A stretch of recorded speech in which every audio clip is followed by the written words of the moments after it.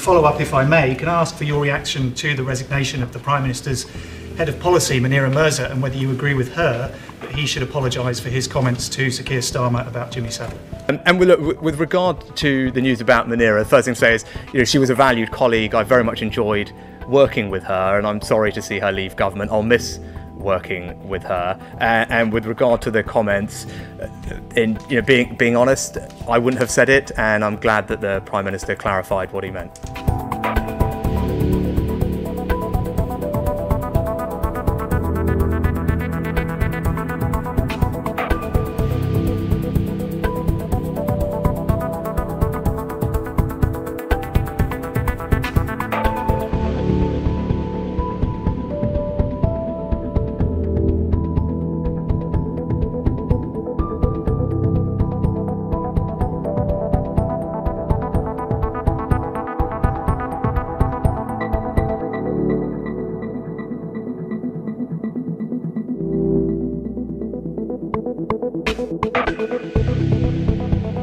That is because, Mr. Speaker, the report does absolutely nothing to substantiate the tissue of nonsense uh, he has just spoken.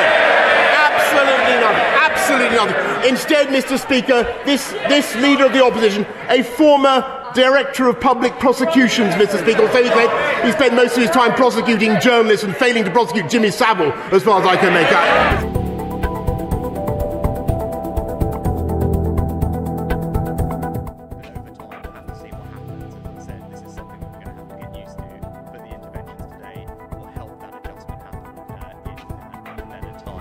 Um, and with, regard to the news about Munira, the first thing to say is, you know, she was a valued colleague. I very much enjoyed working with her, and I'm sorry to see her leave government. I'll miss working with her. Uh, and with regard to the comments, uh, in you know, being being honest, I wouldn't have said it, and I'm glad that the prime minister clarified what he meant.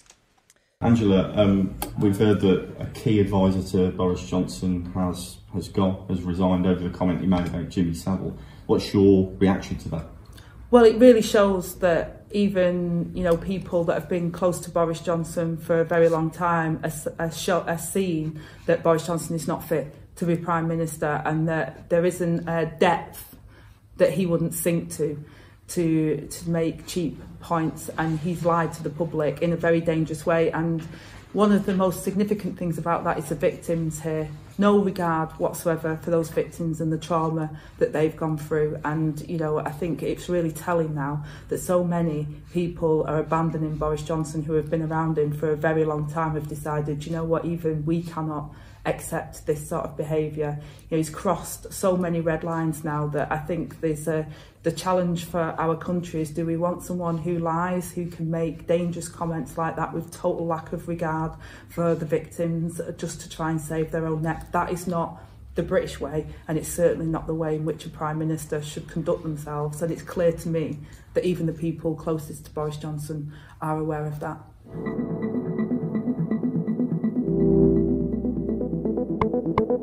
I want to be very uh, clear about this because because a lot of people have got uh, very uh, uh, uh, hot under the collar, and I, I understand why. I, let, us be absolutely clear. I'm I'm talking not about the leader of the opposition's personal um, record when he was when he was DPP. Uh, and, and, I, and, I, totally understand that he had nothing to do uh, personally with those decisions. I was making a point about um, the his responsibility for the organisation uh, as a whole. And I think people can can see that. And I just I really do want to clarify that because it is it is important.